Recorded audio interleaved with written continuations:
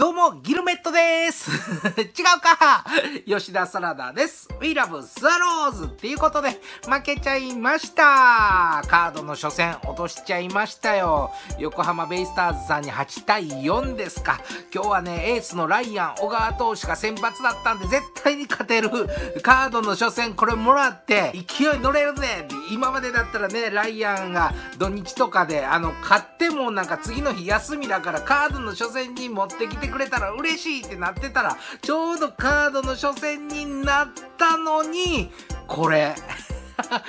いやー、ライアン・小川投手3回ノックアウト、エース3回ノックアウト厳しいんですけども、シーズンの途中でね、やっぱり調子の悪い日もあると思うんですよ。まあこういう日もあって仕方ない。でもね、まあ後ろのピッチャーも、まあ今日はあんまりいいとこなかったですよね。打つ方はね、あの先頭打者ホームランの山崎選手2号ソロ打ってくれて、うん、良かったんですけども、向こうの打線の方が火を吹いたということで、うん、明日にね、響かなければいいんですけどね、今日の負けちょっとね、なんか、引きずるような負けのような気がして、なんか嫌な感じです。まあね、あの話変えて、いい情報、いい情報がございます。我らがヤクルトスワローズから、えソフトバンクに行った、ここバレンティン、バレンティン選手がですね、インスタグラムに、えヤクルト時代の自分の写真を載せて、そしてお金で幸せは買えないって、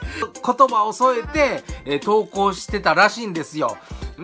ねこれはね、ソフトバンクで今全然機会がないと、出場機会がないと、お金に転んで僕はソフトバンク行っちゃったけど、お金では幸せ買えないんだ、幸せはヤクルトスワローズにあったんだなって言ってると僕は思ってるんですけども、皆さんどう思いました？あのニュース。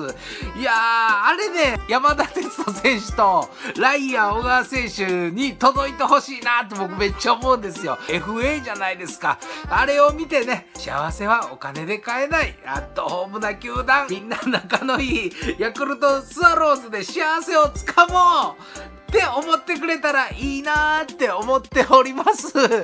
本日は以上です。明日からまた切り替えて買ってもらいたいと思います。ゴーゴーザロー